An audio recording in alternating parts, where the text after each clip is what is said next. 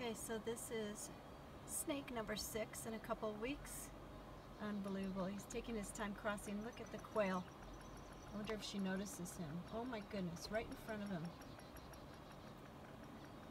They're doing their own little Irish dance. She's just watching him.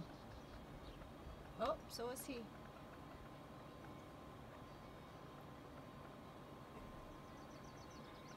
it's like they're escorting him across. oh my goodness.